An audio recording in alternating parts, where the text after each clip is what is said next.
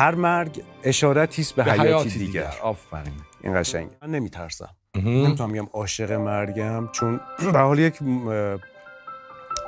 یه اتفاق چند نقطه است در دنیا در زندگیمون. اما نه نمیترسم و از چگونگیش هم نمیترسم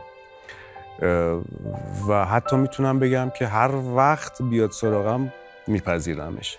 چون بر خودم یه بار این اتفاق افتاده یه رفت و برگشت یه رفت و. برگشت داشتم. حتی به شدیدترین و فجی حالا یه حالت خیلی بدی اتفاق افتاد که میگم حتی اونجا چگونگی هم برام مهم نبود. اصلا یادم نیست که بخوام اصلا یعنی یادم نیست که اون رنجش اون رنج و دردش رو اصلا خاطرم نیستش. و به نظرم که نه. به نظرم چیز ترسناکی نیست.